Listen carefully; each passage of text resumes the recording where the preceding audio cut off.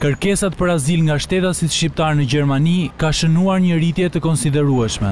Këtë fakt e konfirmon një raport i Ministrisë së Brendshme gjermane. Rreth shtatë mijë shtetas shqiptarë kanë kërkuar azil ekonomik në Gjermani vetëm në tremujorin e parë të këtij viti. Ministria e Brendshme në një njoftim për shtyp iu bën thirrje shtetasve shqiptarë që të mos largohen drejt Gjermanisë, pasi nuk do të përfitojnë azil ekonomik. Në njoftimin e saj, Ministria e Brendshme lajmëron se janë rritur kontrollet në pikat kufitare për të mos lejuar udhëtimin e qytetarëve që nuk plotësojnë kushtet për të udhëtuar pa viza drejt vendeve të Bashkimit Evropian.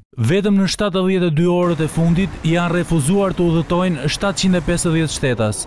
Kjo nuk është deklarata e parë e Ministrisë së Brendshme. Në datën dhjetë prill, një tjetër njoftim për shtyp është bërë nga Ministria e Brendshme. pasi ditët e fundit janë rritur ndjeshëm kërkesat për pasaporta.